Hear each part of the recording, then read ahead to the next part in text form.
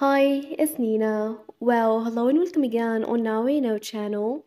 And today's video we're gonna talk about how to make Instagram account public. So you either change your account into private or when you create a new account, you put an age under 16 years old. Since the latest updates on the app make your account private in case your age was under 16 years old. And to figure how to change your account into public, let's get started.